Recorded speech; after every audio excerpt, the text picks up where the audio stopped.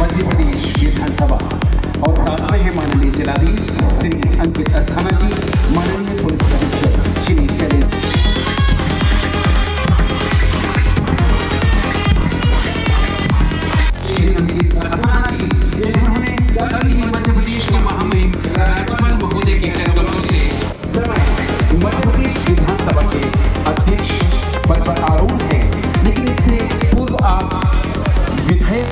सांसद के रूप में भी इस क्षेत्र की सेवा करते रहे हैं। आप माननीय प्रधानमंत्री श्री नरेंद्र